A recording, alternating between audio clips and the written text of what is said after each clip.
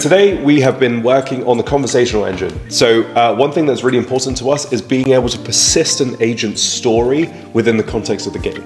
So we've been giving some really interesting different uh, examples like here is a mountaintop conversation between an army general and your job is to get his weapon.